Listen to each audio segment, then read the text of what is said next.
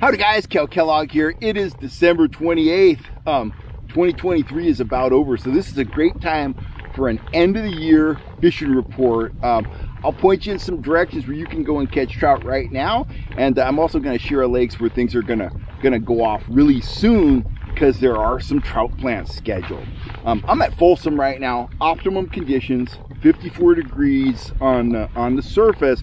Haven't caught any trout yet, but uh, I'm out here basically. I'm out here scouting. I haven't been on a lake in a couple months. I'm just trying to eliminate water, kind of trying to put a pattern together. Just kind of poking around, checking things out. I've had a couple bites. I just had a bite on a pink trout tricks down about 10 feet. So fingers crossed, I'm going to catch fish here real soon. We shall see. Um, first lake I want to talk about is Comanche. Comanche has been planted quite a bit, you know, dating back to like November. Um, Comanche's a big place, big lake. Takes a takes a lot of trout plants to really get that bite going out there. Um, so there's a lot of planters in the lake at this point, and there's also a lot of holdovers from last year. The lake had a had a good amount of water in it all summer, and that means a lot of those fish that were planted last spring have have survived, and they're coming back up to the surface as big, beautiful holdovers. Um, trollers and bank guys are getting limits out there right now, and that's actually going to be my next destination on the kayak. I can't wait to get out to Comanche. Um, on top, or, or for the trollers, trolling up top, top 10 feet of the water column basically, speedy shiners, my speed spoons, rapalas, and my uh, trigger spoons are all producing fish. I'm trolling anywhere from about two and a half to three and a half miles an hour. That's working most days. Guys are catching fish up in the narrows in the river arm. Guys are catching fish out on the main body. If you don't like to troll fast or you get out there on a day when they're just not hitting that, that you know, fast trolled hardware, um, grubs are working very well at about 1.8, you know, up to 2.2, down to 1.5. Mix it up a little bit. The FHS grubs are producing limits out there. And the real sleeper bite at Comanche has been a trolling fly bite. Um, my standard classic trolling flies are kicking out limits. My metalheads are kicking out limits. So, you know, basically you can get out there and troll your, your favorite bait and have a really good chance at catching a limit of fish and a really good chance of catching a really big fish because they're getting fish out there up to eight pounds and more. So very exciting for the trollers at Comanche right now. Bank guys, they're slinging power bait, power bait, power bait, power bait, and they're catching limits. You know, if you're going to go out there and fish bait, put 30 minutes in at a spot. If you don't get hit, go somewhere else. Stand and move till you find the fish, then get those five fish and, uh, you know, go home a happy angler. Right next door to Comanche, we have Amador. Amador is another place where the bite kind of got going slowly this year, but now it is firing on all cylinders. If you look at the Lake Amador Facebook page, you're seeing big fish being caught almost every day. Trollers are getting them on uh, my grubs, they're getting them on rapalas, and they're getting them on threaded worms, as I recall. The bank guys, they are using power eggs and power bait. Those Amador trout, they have always liked that small profile of a power egg, either in white or chartreuse. So that's all working.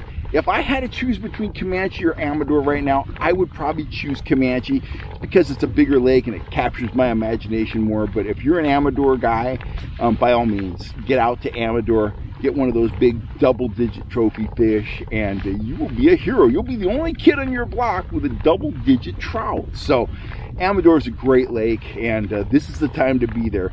Between now and, you know, springtime, say April, it fishes very, very well. Um, Lake Berryessa, that has been red hot. It's slowed down a little bit over the last few days, and I think that's due to the full moon. I was out there about a week ago, and, and I enjoyed just outstanding action on rainbows to about five pounds.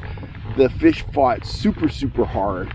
Number one offering for me was spoons, either my trigger spoon or the trigger spoon junior. I caught that big fish, the five pounder, on a trigger spoon junior, trolled 10 feet deep at about 1.8 miles an hour in the narrows. I also got fish on trolling flies out there. Um, it was a near surface bite for me, top 10 feet. Um, speed didn't seem to matter. You could troll fast, you could troll slow. You just had to tailor your lures to whatever speed you wanted to troll. And uh, you were catching fish, and I caught fish all day long. I had a couple slow periods, but basically, I caught fish all day long. So put that on your calendar because those are some of the hardest fighting trout I've ever caught And uh, as long as that action kind of holds up, you should get out there and get in on it because it's pretty epic. You can take it from me.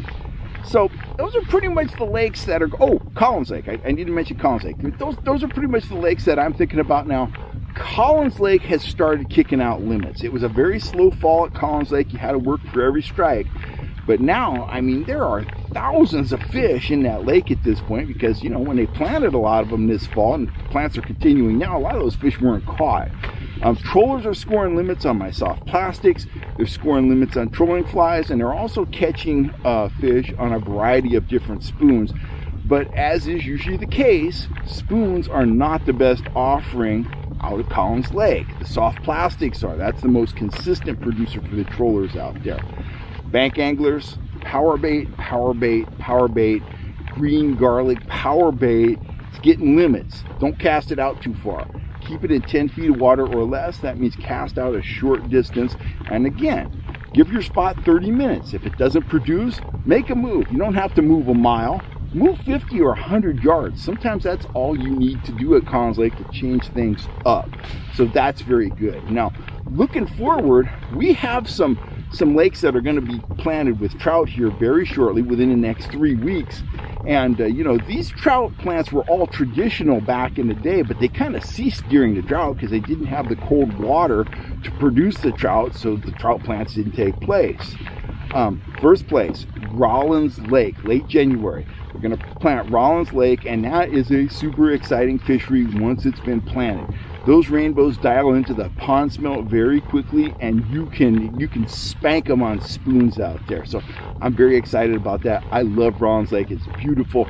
In the wintertime there's nobody around to bother you it's just you and a few other fishermen out there. It's perfect for kayaking. It's perfect for boating. It's just an awesome lake and i'm super stoked that they're going to plant that lake.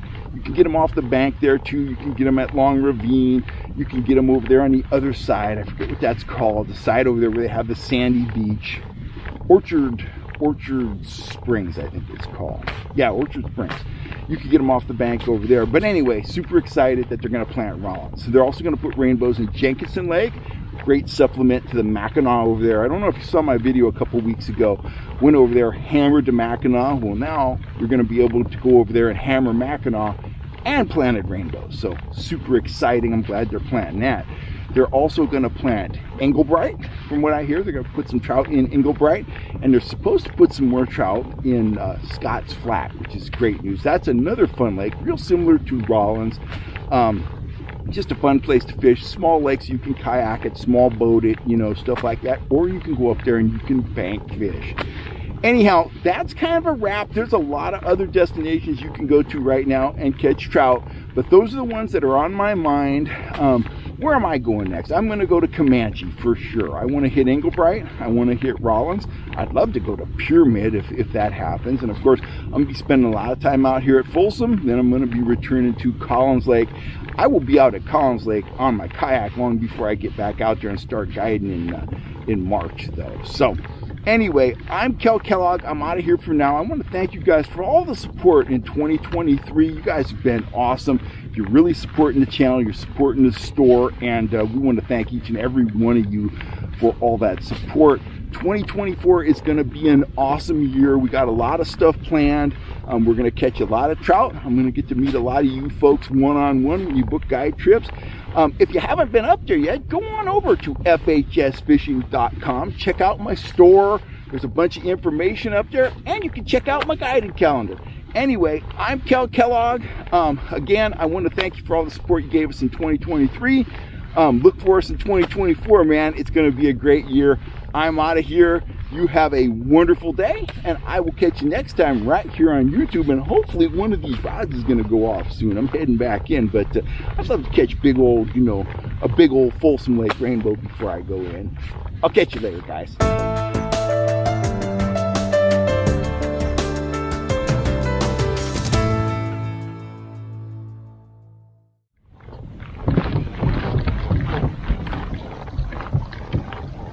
Fish on, Daddy. Fish on. Right. Pink trout tricks worm. Oh, probably. This has 10 feet deep. Something like that. Oh, oh, oh. Jumping. That's nice fish. Feels like a nice fish anyway. Oh, nice fish.